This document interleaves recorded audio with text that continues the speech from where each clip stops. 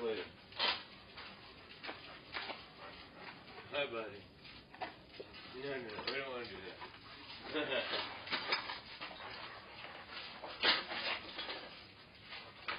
Alright. Alright. Because you're so cool. Come here.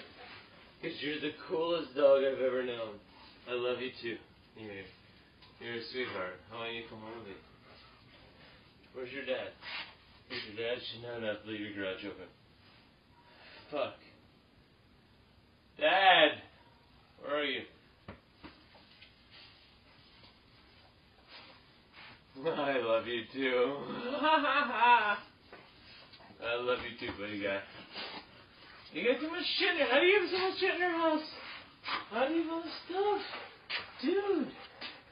You might be the coolest dog ever. Where's your dad?